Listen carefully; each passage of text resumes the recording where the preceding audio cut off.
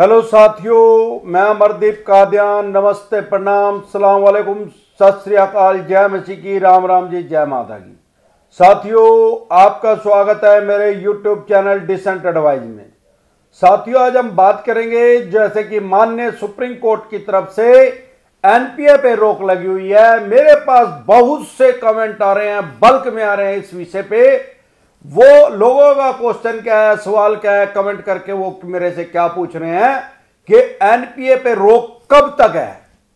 भाई साहब एनपीए पे रोक कब तक है? इसका जवाब यह है कि जब तक माननीय सुप्रीम कोर्ट की तरफ़ से एनपीए पे रोक लगी हुई है, जब तक माननीय सुप्रीम कोर्ट का फाइनल डिसीज़न नहीं आता, तब तक एनपीए पे रोक है।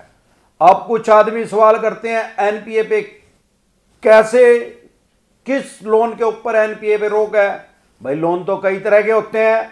किसी ने घोड़ा गाड़ी ले रखी है, किसी ने स्कूटर, मोटरसाइकिल ले रखी लोन पे, किसी ने क्रेडिट कार्ड ले रखा, किसी ने पर्सनल लोन ले रखा, किसी ने एजुकेशन लोन ले रखा, किसी ने और बीस तरह के लोन है। किसी ने फैक्ट्री का ले रखा, मकान का, दुकान का, किसी ने लैब करवा रखा, लोन अगेंस्ट प्रॉपर्टी।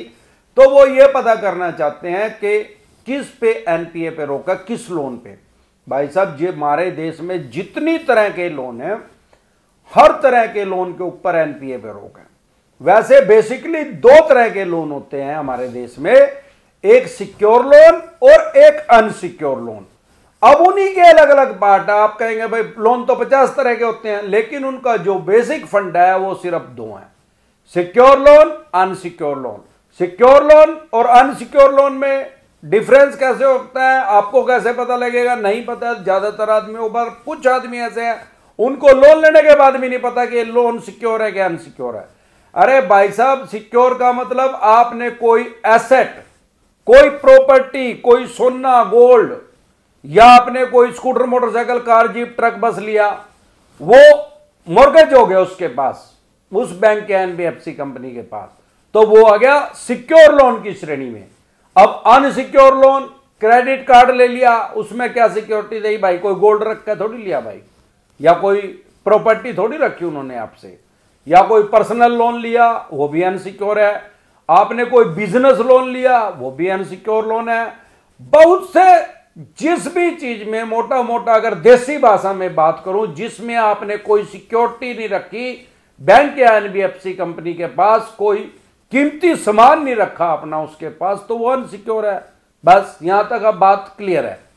अब ये कब तक है, वो मैंने बता दिया, जब तक फाइनल फैसला नहीं आता, तब तक है।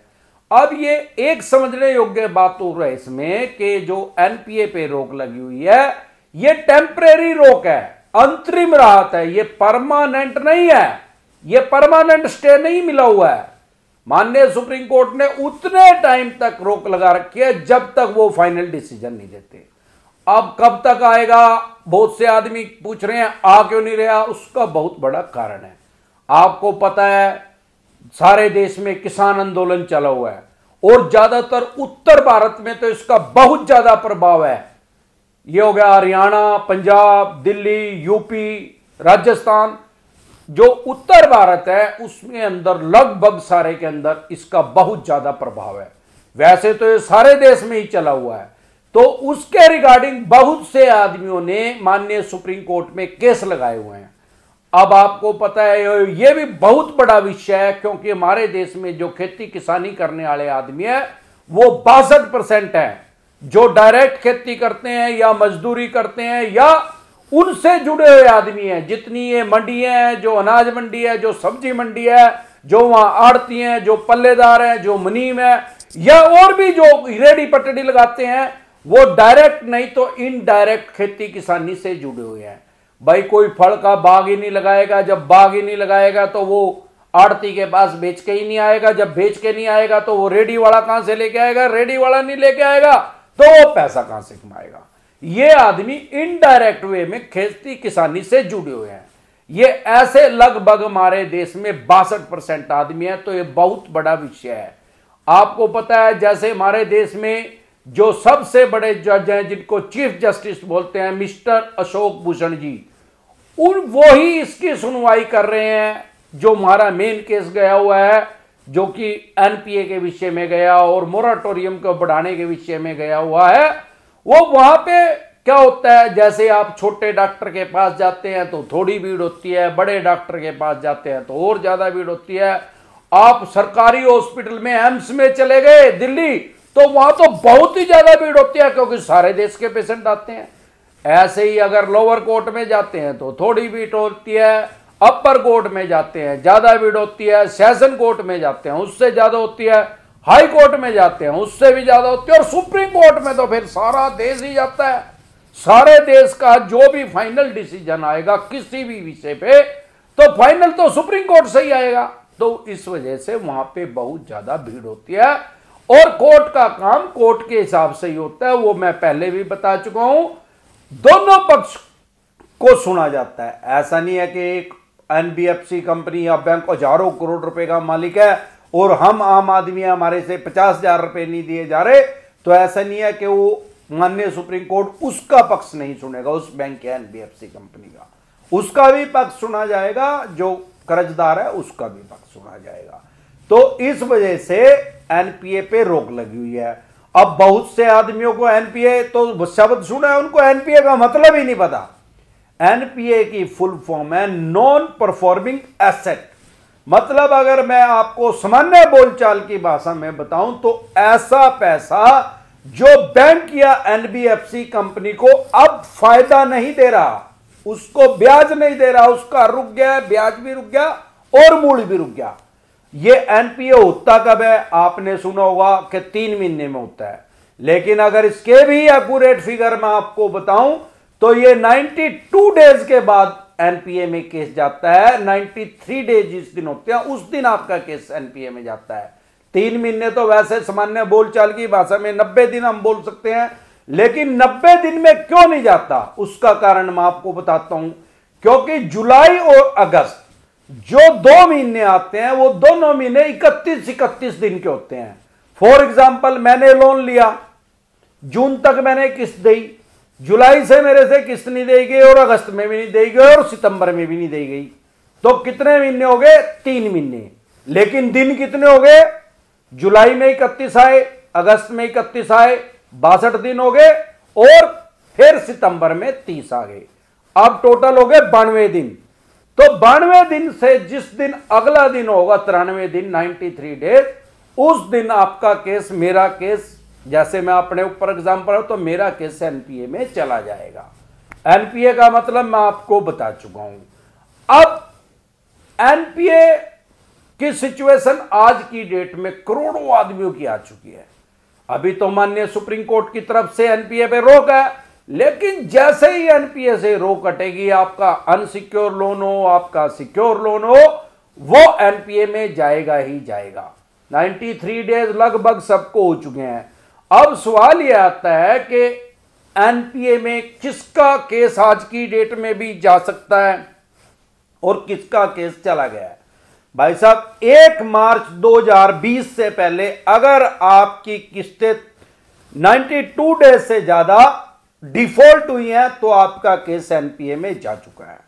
उस पे माननीय सुप्रीम कोर्ट की तरफ़ से एनपीए पे उस ड्यूरेशन के दौरान कोई रोक नहीं लगी हुई है। अब उसके बाद अगर आपने एक सितंबर के बाद कोई लोन लिया है, और अब क्योंकि एक सितंबर, अक्टूबर, नवंबर, दिसंबर, जनवरी, फरवरी भी आ गया, पाँच, छह किस्तें आपकी रुक गई हैं या तीन भी रुक गई हैं तो भी आपका केस एनपीए में चला जाएगा।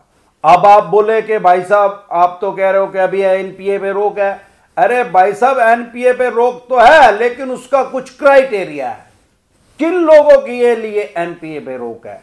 भाई, जिसने एक मार्च 2020 से लेके 31 अगस्त 2020 तक का अगर छह महीने का मोराटोरियम भी किसी आदमी ने ले लिया तो उसको तो मोराटोरियम मिल गया। उसके बाद भी क्योंकि छह महीने जा चुके हैं, सितंबर, अक्टूबर, नवंबर, दिसंबर, जनवरी, फरवरी।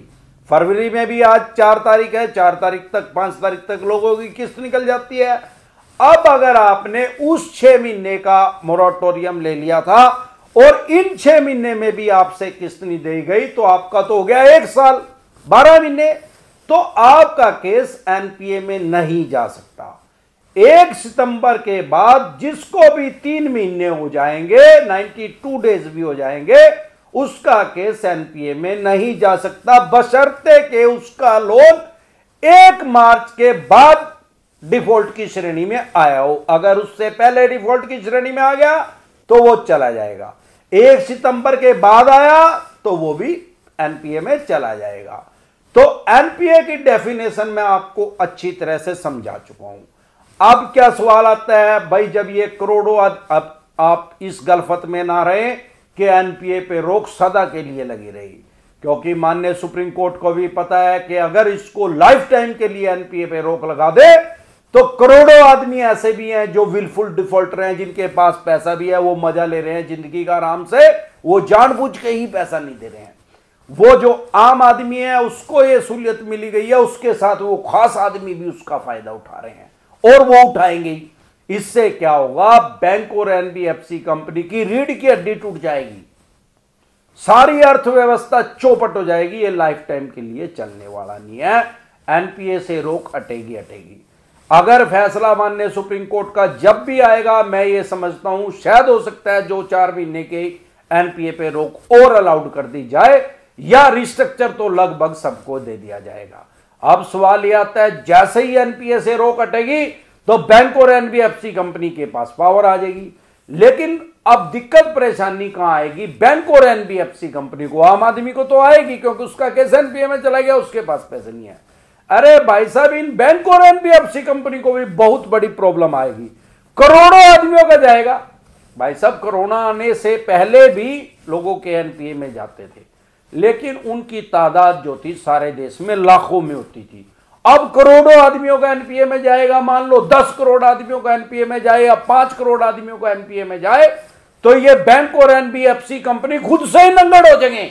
इन पर ही नहीं चवन्नी रहने की। और दूसरी बात आपका केस एनपीए में डाल दिया, पाँच करोड़ आदमियों का केस एनपीए में चला गया। जिस बैंक का, अभी जैसे लक्ष्मी विलास बैंक डूब गया कुछ टाइम पहले, उसका 26 से भी ज़्यादा परसेंट एनपीए हो गया था। मतलब 100 आदमियों ने अगर लोन लिया तो 26 आदमियों ने तो लोन वापस ही नहीं किया। तो इस तरीके से अगर ये आपका केस एनपीए में डालेंगे तो इनको क्या होता है? मान लो कोई बैंक बहुत सारे लोन एनपीए में जाएँगे तो उस पर खुद से ही ताला लग जाएगा। उसमें लोग खाता खुलवाना बंद कर देंगे, एफडी करवानी बंद कर देंगे, और उसका शेयर भी होते हैं, इनके वो धड़ाम से नीचे गिरेंगे। ऐसे ही एनबीएफसी कंपनी के साथ भी होगा, उनके भी शेयर धड़ाम से नीचे गिरेंगे। तो आप मान के चले, ये आपके केस को एनपीए में लेके भी नहीं जाना चाहते। यही कारण है कि ये घड़ी घड़ी नोटिस भेज रहे हैं, सेक्शन 25 सेक्शन 138 सेटलमेंट कर ले, ये कर ले, वो कर ले, आर्बिट्रेशन कर ले, साम दाम दंड भेद सारे तरीके इस्तेमाल कर रहे हैं आपसे पैसे निकालने के। भाई किसी तरीके से इसका केस एनपीए में ना जाए, जो बहुत ज़्यादा आदमियों का चला गया तो ये तो खत्म है। अरे भाई साहब, हमने तो दस, बीस, पचास हज़ार, दो लाख, पाँच लाख, बीस लाख का लोन ले रखा है यार। बीस करोड़ का, पाँच सौ करोड़ का, दस हज़ार करोड़ का तो हमारे दादा ने भी लिया, और ना हमारे पुत्तों ने देने के नंग। ये दे देंगे के? तो भाई डरो ना, क्योंकि गब्बर सिंह ये कह के गया है, जो डर गया, वो मर गया। भाई साहब, आप एक बात मान के चले, अगर आप अपनी सहायता खुद से नहीं कर सकते तो दुनिया की कोई ताकत आपको नहीं बचा सकती। अमरदीप का ध्यान आपको डिसेंट एडवाइस दे सकता है आपको आपके राइट्स बता सकता है लेकिन आपको वहाँ पे बचाने नहीं आ सकता। जहाँ पे आप रहते हैं, चरखी दादरी में, बॉम्बे में, दिल्ली में, गुड़गांव में, जहाँ भी। तो भाई साहब, आपको अपनी मदद खुद से करनी पड़ेगी। फिर भी किसी तरह की कोई भी दिक्कत, परेशानी आपके किसी यार प्यारे रिश्तेदार को हो, या आपको किसी तरह की कोई दिक्कत, परेशानी आए तो आप कमेंट कीजिए। आपको डिसेंट एडवाइस मिल जाएगी। नमस्कार।